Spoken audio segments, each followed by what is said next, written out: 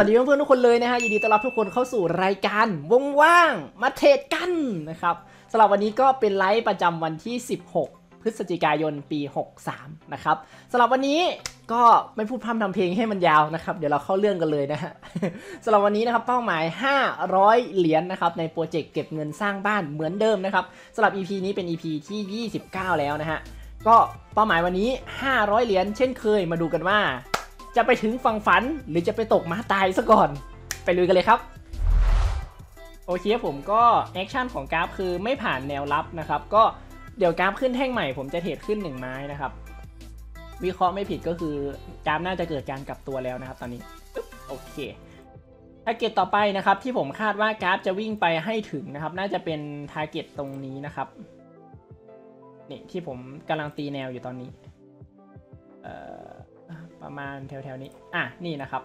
เขาน่าจะวิ่งขึ้นมาหา target ด้านบนนี้นะครับ เป็นแนวสีเขียวตรงนี้ มาลุ้นกันว่าเขาจะถึงหรือเปล่านะครับสำหรับไม้ที่ 1 ในไลฟ์นี้นะครับ ถามว่าทำไมผมถึงเลือกกดเทรดขึ้นนะครับ เพราะว่า กราฟณปัจจุบันนะครับลงมาชนกับแนวรับนะครับแต่ว่าไม่สามารถทะลุแนวรับลงไปได้นะครับสังเกตจากกราฟเนาะที่ลงมาชนแนวรับปุ๊บหลังจากนั้นเขาเกิดการกลับตัวขึ้นเลยนะครับก็แปลว่าอาจจะลงไปต่ำกว่านี้ไม่ได้นะครับอาจจะติดแนวรับแล้วก็ไม่น่าจะทะลุแนวรับนี้ลงไปได้นั่นเองนะครับเพราะฉะนั้นก็น่าจะเกิดการกลับตัวขึ้นนะฮะก็ถ้าเกิดว่าแพ้ผมจะมาติงเกียวเทรดขึ้นอีกหนึ่งไม้นะครับอ่ามาดูกันว่าที่ผมวิเคราะห์ไว้ว่ากราฟทะลุแนวรับไปไม่ได้นี้นะครับแล้วเขากำลังจะกลับตัวขึ้นเนี่ย และที่ผมได้เทรดขึ้นไปนี้จะชนะไหมนะครับ อ้าววิสุดท้ายชนะวิสุดท้ายอะโอเคนะฮะชนะอย่างนี้ก็ได้ ชนะอย่างนี้ก็ได้ โอเค โอเคผมสลับไม้ที่ 1 ชะนะนะครับ ตอนแรกผมคิดว่าผมจะแพ้แล้วนะเพราะว่า เพราะว่าไอ้กราฟมันลงไปลึกมากนะครับ แต่อยู่ๆก็อาจจะเพราะด้วยแรงจากแนวนะครับ ที่กราฟลงมาถึงอ่าลงมาใกล้แนวมากนะครับ สุดท้ายเขาก็ ถูกแรงซื้อที่ดักรออยู่ตรงแนวนะครับตีกลับขึ้นมาจนผักกราฟนะครับให้เปลี่ยนจากแท่งแดงเนี่ยกลับมาแท่งเขียวแล้วก็พอกราฟขึ้นแท่งถัดไปก็วิ่งขึ้นต่อเลยนะครับสุดท้ายก็เป็นไปตามที่ผมวิเคราะห์นะครับผมวิเคราะห์ไว้ว่ากราฟที่ไม่สามารถทะลุแนวสีชมพูนี้ไปได้ ก็น่าจะกลับตัวขึ้นไปหาแนวสีเขียวด้านบนนะครับสรุปก็ไปถึงจริงๆนะครับสวยเลยนะฮะโอเคผมสลับไม้ที่ 1 ในไลน์นี้ชนะเป็นที่เรียบร้อยนะครับสลับในไม้ที่ 1 นี้ก็วิเคราะห์ไปตามที่ อธิบายไปเมื่อกี้เลยนะครับอ่าเผื่อใครจะไปเทรดเหมือนกันนะก็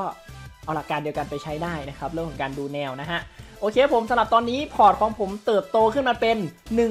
1,580 เหรียญเป็นที่เรียบร้อยแล้วนะครับ ก็ขาดอีกประมาณ 420 เหรียญผมจะทำกำไรได้ถึง 500 เหรียญนะครับ โอเค เพื่อไม่เป็นการเสียเวลาปะเดี๋ยวเราไปลุยกันต่อในไม้ที่ 2 กันเลยครับสวัสดีครับพี่มาร์คมาสายเลยวันนี้ไม่เป็นไรครับ วัสดีน้องมินด้วยนะปึ๊บอ่าโอเคผมสลับไม้ที่ 2 นะครับ ผมเลือกกดเทรดลงนะครับ อันนี้ก็เป็นกราฟเดียวกันกับไม้ที่ 1 เลยนะครับ เพราะว่าตอนแรกว่าจะเปลี่ยนกราฟแล้วอ่าแต่ว่าเห็นกราฟติดแนวต้านด้านบนนะครับ ก็คือติดแนวสีเขียวแล้วก็ไม่สามารถทะลุแนวสีเขียวขึ้นไปได้นะครับ เพราะฉะนั้นก็ตาม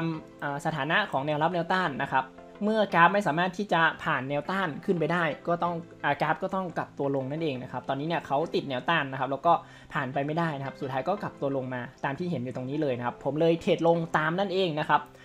ก็ถ้าผมวิเคราะห์ไว้ไม่ผิดการกลับตัวลงตรงนี้เนี่ยทาร์เก็ตหรือว่าเป้าหมายที่กราฟจะวิ่งไปให้ถึง น่าจะเป็นแนวรับสีชมพูด้านล่างตรงนี้นะครับมาลุ้นกันว่าจะไปถึงหรือเปล่าลุ้นลุ้นหนักมากลุ้นหนักมากนะฮะ โอเค ถ้าชนะนี่ก็จะเป็นไม้ที่ 2 ในไลฟ์นี้นะครับ ที่เทรดชนะ มาดูกัน 3 วิสุดท้ายนะครับอึ๊บอ่าโอเคครับผมก็สลับในไม้ที่ 2 ชนะเป็นที่เรียบร้อยแล้วนะครับ ก็กราฟกลับตัวลงตามที่ผมวิเคราะห์จริงๆนะครับแล้วก็เป้าหมายที่เขากลับตัวลงมาเนี่ยที่เขาจะวิ่งไปให้ถึงน่าจะเป็นแนวรับสีชมพูด้านล่างนะครับอะประมาณนี้เลยนะฮะโอเคผมก็สลับตอนนี้พอร์ตของผมเติบโตขึ้นมาเป็น 1,660 เหรียญแล้วนะครับ หรือก็คือผมทำกำไรมาได้เพิ่มอีก 160 เหรียญนั่นเองนะครับ ขาดอีกประมาณ 340 เหรียญ ผมจะทำกำไรได้ถึง 500 เหรียญแล้วนั่นเองนะครับ โอเคผมก็เพื่อไม่เป็นการเสียเวลาปะเดี๋ยวเราไปลุยกันต่อในไม้ที่ 3 กันเลยครับ ผมวิเคราะห์ไว้ว่าเขาน่าจะลงไปถึงแนวรับสีแดงด้านล่างนะ ถ้าปิดใต้แนว โอ้โอ้นั่ไง ตามที่ผมวิเคราะห์ไว้จริงด้วยเขาลงมาแล้ว คัลเลอร์บายคัลเลอร์บอกไหมครับได้ฮะเอ้ยเดี๋ยวสิบเปอร์เซ็นต์อ้าฮ่าฮ่าไม่นะ จะเทรดไปตอนกราฟจะเทรดไปตอนที่เปอร์เซ็นต์กำไรมันเป็นสิบเปอร์เซ็นต์หรือเนี่ยอ้า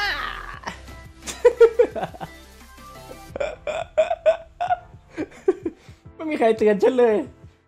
ทำไมพวกนายไม่เตือนฉันล่ะทำไมพวกนายไม่เตือนฉันล่ะ อันนี้ฉันพลาดเองแหละนะอันนี้ฉันพลาดเองแหละ โอเคนะครับ ก็ไม่เป็นไรนะฮะ คิดว่าน่าจะชนะนะ แต่ได้กำไรมา 10%ก็ก็ยังดีกว่าไม่ได้นะครับ ดีกว่าแพ้โอเคผมก็สลับในไม้ที่ 3 นี้นะครับ เหตุผลที่ผมเลือกกดเทรดลงนะครับ เพราะว่ากราฟปัจจุบันเนี่ยเขาหลุดจากแนวสีชมพูมาแล้วนะครับ แล้วก็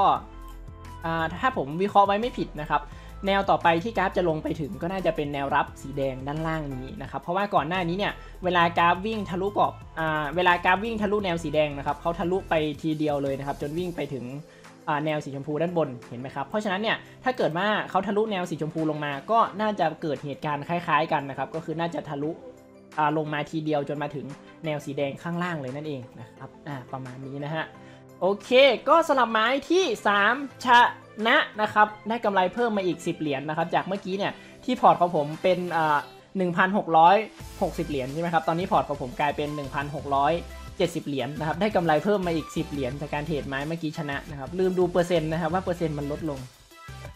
ไม่เป็นไรครับไม่เป็นไรกำไร 10%ใช่อะคือแบบไม่คุ้มเลยไม่คุ้มค่า แบบนี้มีแถมไหมครับ เดี๋ยวรอก่อนนะ รอก่อนว่าว่าจะวิ่งยังไงต่อ โอเคผมก็ปะเดี๋ยวเราไปลุยกันต่อในไม้ทีสี่4 เลยนะครับปะไปดูกันเลยฮะโอเคนะครับกราฟปิดใต้แนวนะฮะ อันนี้เนี่ยบอกก่อนไม่ได้จริงๆนะครับผมวิเคราะห์ก่อนไม่ได้จริงๆ เพราะว่าเมื่อกี้กราฟมันไปค้างอยู่ข้างบนนะครับกว่ามันจะลงมามันวิสุดท้ายพอดีนะฮะโอเคผมก็ตามที่ผมวิเคราะห์เอาไว้นะครับว่าการกลับตัวขึ้นตรงนี้นะครับน่าจะเป็นการกลับตัวขึ้นเพื่อลงต่อนะครับก็คือน่าจะขึ้นมาทำสวิงไฮเฉยๆนะครับไม่น่าจะาทะลุแนวสีชมพูนี้ขึ้นไปได้นะครับน่าจะขึ้นมาแล้วก็เดี๋ยวเขาก็น่าจะลงแล้วนะครับผมจึงเลือกกดเทรดลงเลยนั่นเองนะครับก็มาดูกันว่าเขาจะกลับตัวหรือเปล่า ตอนนี้เนี่ยเหตุผลที่ผมเลือกกดเทรดลงนะครับ เพราะว่ากราฟอยู่ใกล้กับแนวต้านสีชมพูตรงนี้ด้วยนั่นเองนะครับ ถ้าผมวิเคราะห์ไว้ไม่ผิดนะครับ ก็เขาน่าจะชนแนวต้านสีชมพูนะครับ แล้วแรงขายที่ดักรออยู่ตรงแนวต้านสีชมพูเนี่ยน่าจะคอยส่งกราฟให้วิ่งลงอยู่นะครับ เพราะฉะนั้นถ้าเทรดลงตรงนี้เนี่ยน่าจะมีโอกาสชนะสูง มาลุ้นกันว่าจะชนะหรือเปล่านะครับ ถ้ากราฟไม่กลับตัวลงแท่งนี้เนี่ยนะครับ ก็น่าจะกลับตัวลงแท่งถัดไป มาลุ้นกันว่า จะเป็นยังไง ถ้าปิดใต้แนวผมเทรดต่อนะครับอะปิดใต้แนวนะฮะอุ้ยเกือบไม่ได้โพซิชันที่ดีที่สุดกราฟมันลงมาก่อนนะครับ โอเคนะครับโอ้ยไม้ที่ 4 ที่ 5 นะครับอะโอเค อันนี้ไม้ที่ 5 นะครับ ไม้ที่ 5 เนี่ยต่อเนื่องจากไม้ที่ 4 เลยนะครับ ไม้ที่ 4 เนี่ยผมวิเคราะห์เอาไว้นะครับว่าถ้ากราฟขึ้นมาชนแนวต้านตรงนี้นะครับ น่าจะเป็นการกลับตัวขึ้นเพื่อลงต่อนะครับ ก็คือน่าจะขึ้นมาทำไฮเฉยๆ ไม่น่าจะทะลุแนวสีชมพูนี้ขึ้นไปได้นั่นเองนะครับ ซึ่งจากที่ผมวิเคราะห์ไว้นะครับว่าเขามาชนแนวต้านตรงนี้แล้วน่าจะลงต่อนะครับแต่เมื่อกี้ตอนผมเทรดลงกราฟแท่งนี้เนี่ยเขายังไม่ลงนะครับซึ่งผมคิดว่ายังไงเขาก็ต้องลงแน่ๆนะครับเพราะว่าแนวต้านสีชมพูนี้เนี่ยเป็นแนวที่ค่อนข้างสำคัญนะครับเป็นแนวที่มีผลกับกราฟพอสมควรนะครับสังเกตจากที่ก่อนหน้านี้เนาะกราฟจะลงเนี่ยก็ลงได้ลำบากนะครับเพราะฉะนั้นการที่จะกลับขึ้นไปก็เหมือนเดิมนะครับก็น่าจะขึ้นไปได้ลำบาก หรืออาจจะขึ้นไปไม่ได้นะครับขึ้นไปให้สูงกว่าแนวเนี่ยไม่ได้ ก็ ผมจึงเลือกกดเทรดลงเลยนะครับเพราะคิดว่ากราฟแท่งถัดไปเนี่ยก็น่าจะลงแล้ว หรือก็คือแท่งที่ผมเทรดอยู่ตอนนี้นะฮะอึ๊บอ่าโอเคครับผมก็สลับไม้ที่ 5 ช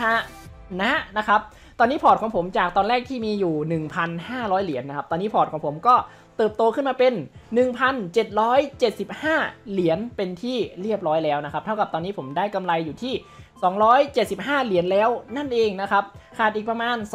225 เหรียญนะครับ ผมก็จะทำกำไรได้ถึง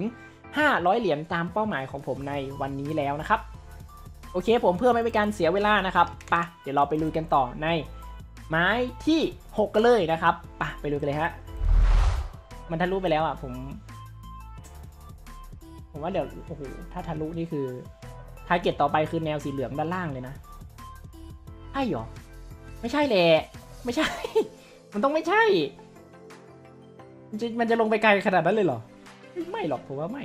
โอเคเดี๋ยวปิดแท่งนี้นะครับเดี๋ยวผมจะเทรดขึ้นในแท่งถัดไปหนึ่งไม้นะผมว่ามันมันไม่ไม่ใช่ไม่ไม่ มันน่าจะต้องมีแนวรับดักรออยู่ด้านล่างนี้อีกหนึ่งแนวนะครับ ไม่ มันมันคงไม่เป็นอย่างนั้น มันคงไม่เป็นแบบนั้น อ่าโอเคสวยเน่ปิดแนวให้หน่อยไม่ได้ ไม่เป็นไร ไม่ง้ออ้าวพอพูดว่าไม่ง้อแค่นั้นแหละ วิ่งลงทันที ง้อก็ได้นะ กลับมา โอ้โหโอเคอ๋อ อันนี้มันเป็นแพทเทิร์นของการทดสอบแนว ลืมดูเลยนะครับเอบ้าเออถ้าแพ้ก็ไม่แปลกนะครับ อันนี้พลาดเอง ลืมดูกราฟแท่งนี้ว่ามัน มันอยู่ในแพทเทิร์นไหน โอเคนะครับไม่เป็นไรหรือว่าไม้นี้ถ้าแพ้ก็แพ้เพราะพลาดเอง แต่ถ้าชนะก็ชนะในความโชคดีนะฮะสำหรับไม้นี้ โอเคผมสำหรับไม้นี้ทำไมผมถึงเลือกกดเทรดขึ้นนะครับ เพราะว่ากราฟณปัจจุบันเนี่ยลงมาลึกมากแล้วนะครับ ผมคิดว่าแรงขายหรือแรงที่ทำให้กราฟวิ่งลงเนี่ยเขาน่าจะใช้แรงในการผลักกราฟให้วิ่งลงมาเนี่ยน่าจะหมดแล้วนะครับ เพราะว่ากราฟมันลงมาลึกมากเลยนะทุกคนลองดูนะเนี่ยลงมาแรงแล้วก็ลึกมากนะครับ เพราะฉะนั้นเนี่ย แรงขายน่าจะหมดแล้วนะครับ แล้วก็น่าจะเปิดช่องว่างให้แรงซื้อนะครับที่ดักรออยู่ตรงแนวรับสีชมพูด้านล่างนี้นะครับเข้ามามีผลกับกราฟแล้วนั่นเองนะครับ ก็น่าจะเปิดโอกาสให้แรงซื้อเข้ามามีผลนะครับ แล้วกราฟก็น่าจะกลับตัวขึ้นได้แล้วนั่นเองนะครับ ไม่น่าจะลงต่อไหวเนาะอ่าโอเค ผมจึงเลือกกดเทรดขึ้นนะครับ ผลลัพธ์ที่ได้ก็คือชนะนะครับโอเค สรุปผมไม่ได้วิเคราะห์ผิดนะครับ ก็ก็คือวิเคราะห์ถูกนะครับ บวกกับ ดวงดีด้วย บวกกับดวงดีด้วยนะครับ ที่แรงขายหมดจริง ๆ อย่างที่ผมวิเคราะห์เอาไว้นะครับ แล้วก็สุดท้ายเขาก็กลับตัวขึ้นอ่าโอเค สวยๆเลยนะครับ โอเคผมสลับไม้นี้ชนะนะครับ แล้วก็ตอนนี้พอร์ตของผมเติบโตขึ้นมาเป็น 1,857 เหรียญแล้วนะครับ ก็เท่ากับตอนนี้ผมทำกำไรมาได้อยู่ที่ประมาณ 357 เหรียญแล้วนั่นเองนะครับ ขาดอีกประมาณ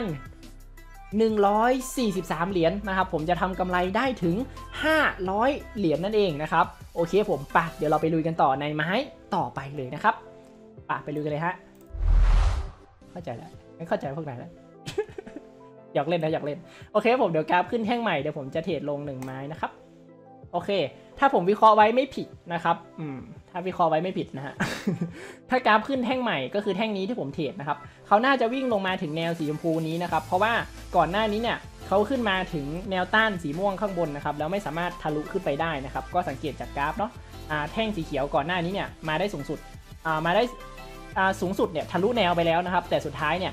อ่ามาปิดอยู่ในแนวแบบนี้นะครับ แล้วพอกราฟขึ้นแท่งใหม่ก็คือวิ่งลงอย่างไวเลยนะครับ เพราะฉะนั้นเนี่ยคิดว่าแรงขายที่ดักรออยู่ตรงเนี้ย น่าจะเข้ามามีบทบาทแล้วก็ผักกราฟลงแล้วนะครับ เพราะฉะนั้นตอนนี้เนี่ยที่แรงขายจากแนวนี้มีบทบาทนะครับ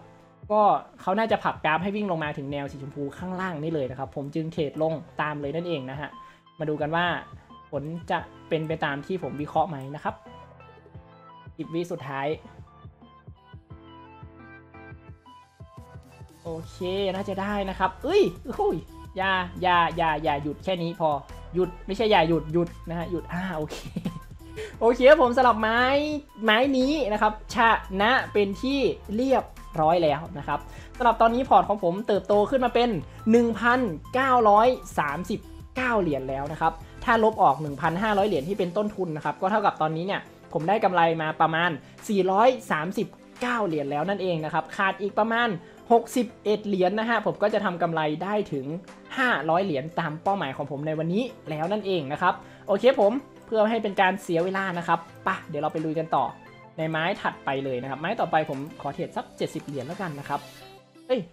ไม่ใช่70 80นะครับ ถ้าเกิดว่าชนะเนี่ยกำไรมันจะได้มาประมาณ 60 เหรียญ อ่า60เหรียญพอดีนะครับ เอากำไรมารวมกับกำไรที่ผมทำได้ก่อนหน้าเนี่ย มันจะได้ครบ 500 เหรียญพอดีนะครับ ก็จะเท่ากับว่าวันนี้เนี่ยผมก็จะทำกำไรได้ถึงตามเป้าพอดีนะครับ อะประมาณนี้นะฮะ โอเคผมไปเดี๋ยวเราไปลุยกันต่อในไม้ต่อไปเลยนะครับ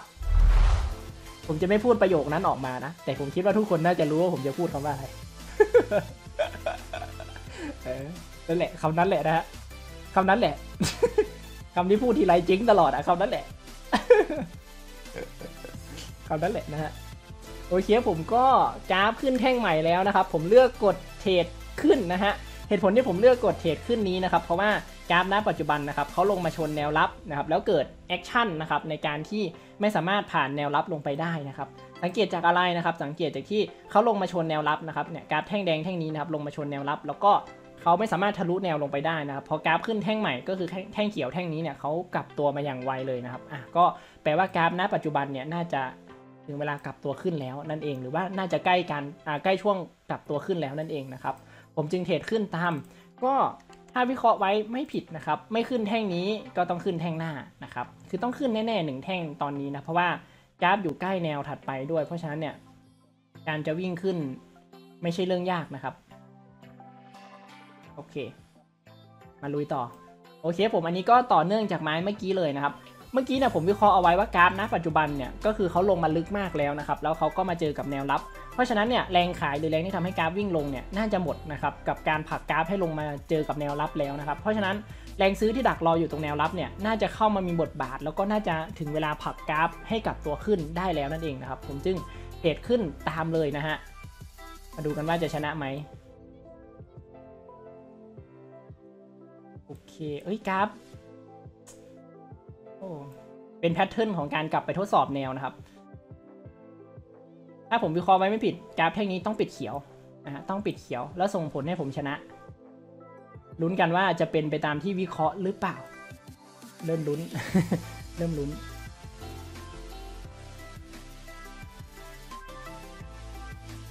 หาวิสุดท้ายทุกคนสามวิแล้ว อึ๊บชา yes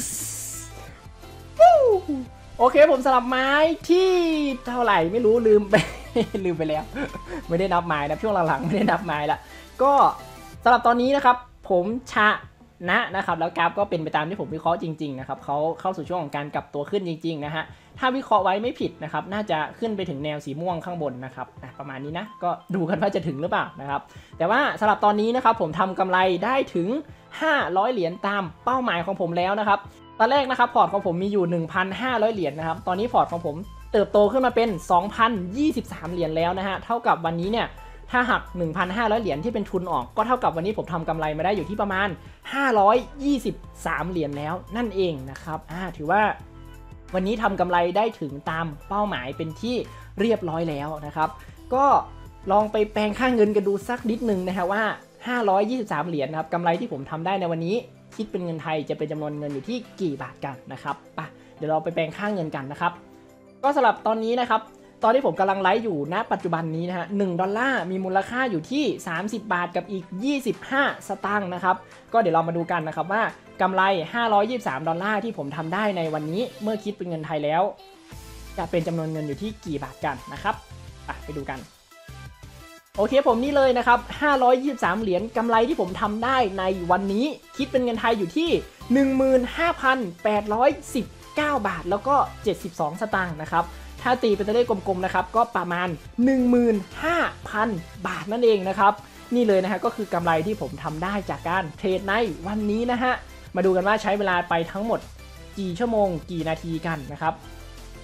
โอเคผมก็นี่เลยนะครับในไลฟ์นี้ผมใช้เวลาไปทั้งหมดอยู่ที่ประมาณ 1 ชั่วโมง 20 นาทีนะครับตีเป็นชั่วโมงหนึ่งแล้วกันนะครับ เพราะว่าเราเมาส์มอยกันค่อนข้าง มาส์มอยกันค่อนข้างมากนะครับ มากกว่าเทรดอีก ก็ตีเป็น1ชั่วโมงแล้วกันนะครับอ่าเวลาที่ใช้เทรดจริง ๆ ประมาณ 1 ชั่วโมงนะครับ ก็สรุปนะครับวันนี้ผมทำกำไร 500 เหรียญตามเป้าหมายได้สำเร็จนะครับภายในระยะเวลาเพียงแค่ 1 ชั่วโมงเท่านั้นเองนะครับอ่าก็ตามนี้เลยนะครับ สวยๆเลยนะครับสำหรับวันนี้ ก็ขอบคุณทุกคนเลยนะครับที่ติดตามรับชมกันนะครับโอเคผมก็สำหรับวันนี้นะครับผมทำกำไรได้ถึงตามเป้าหมายแล้วนะครับก็เดี๋ยวขอจบไลฟ์นี้ไว้ที่เท่านี้ก่อนละกันนะครับถ้าเกิดว่าเพื่อนๆคนไหนชอบนะครับก่อนจากลาในไลฟ์นี้ไปนะครับฝากทุกคนกดไลค์กดแชร์ กดติดตาม แล้วก็อย่าลืมกดกระดิ่ง เพื่อรับแจ้งเตือนเวลาผมอัพคลิปใหม่ๆหรือเวลาผมไลฟ์ครั้ง ต่อไปด้วยนั่นเองนะครับที่สำคัญนะครับถ้าเกิดว่าใครอยากจะมาดูไลฟ์แบบนี้นะครับก็สามารถเจอกันได้นะครับทุกวันจันทร์ถึงอาทิตย์เวลา 6 โมงเย็นนะครับก็ขอบคุณทุกคนเลยที่ติดตามรับชมกันนะครับสำหรับวันนี้ก็ขอจบไว้ที่เท่านี้ก่อนละกัน แล้วเจอกันใหม่ สวัสดีครับ Yeah, yeah, let's go. I ain't the first with the curse, with the thirst that I wanna be better, not worse, man, it hurts. I'm on this earth with my words, and I put them all together, insert, cause I wanna have worth. Working hella hard till they put me in the dirt. Gonna go far, man, listen to my words. Gonna be a star, man, life's like a blur. When you're working this hard, yeah, you get what you deserve. Yeah.